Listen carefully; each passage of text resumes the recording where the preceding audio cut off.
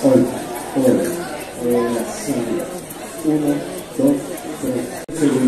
Mientras cuadramos todos los instrumentos y en un momento estaremos con ustedes.